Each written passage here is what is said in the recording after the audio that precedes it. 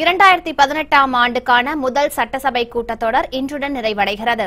தமிழக சட்டசபை கூட்டத்தொடர் கடந்த எட்டாம் தேதி ஆளுநர் பன்வாரிலால் உரையோடு தொடங்கியது.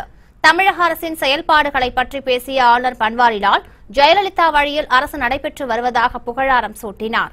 சட்டம் ஒழுங்கை பாதுகாக்க அரசு தனி கவனம் செலுத்தி வருவதாக ஆளுநர் தெரிவித்தார். சட்டசபையின் முதல் கூட்டத்தொடரில் தினகரன் பங்கேற்றார். சுயேட்சை எம்எல்ஏ என்பதால் சட்டசபையில் தினகரனுக்கு அவையில் பின்பக்கம் இருக்கை அளிக்கப்பட்டது. இதனை அடுத்து சட்டசபையில் ஆளுநர் உரைக்கு நன்றி தெரிவிக்கும் தீர்மானம் மீதான விவாதம் நடைபெற்றது. கேள்வி நேரத்தின் போது எதிர்க்கட்சி உறுப்பினர்களின் கேள்விகளுக்கு அமைச்சர்கள் பதில் அளித்தனர். அப்போது காரசாரமான விவாதங்களும் எதிர்க்கட்சிகளின் வெளிநடப்பு உள்ளிட்ட சம்பவங்களும் அரங்கேறின.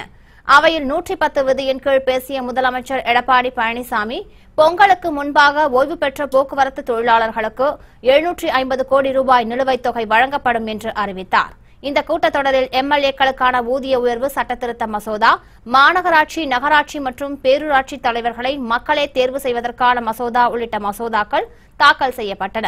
இந்த நிலையில் இறுதி நாளான இன்று அவையில் துணை நிதி நிதிநிலை அறிக்கை தாக்கல் செய்யப்படுகிறது. ஆளுநர் உரைக்கு நன்றி தெரிவிக்கும் தீர்மானத்திற்கு முதலமைச்சர் எடப்பாடி பழனிசாமி பதிலளிக்கிறார்.